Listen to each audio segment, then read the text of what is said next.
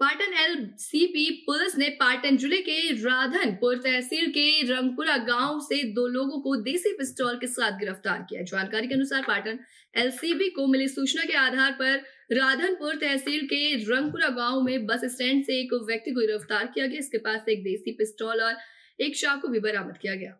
जिस मुद्दे पर मामला दर्ज किया गया है। राधनपुर पुलिस स्टेशन और राधनपुर पुलिस आगे की जाँच में जुटी हुई है।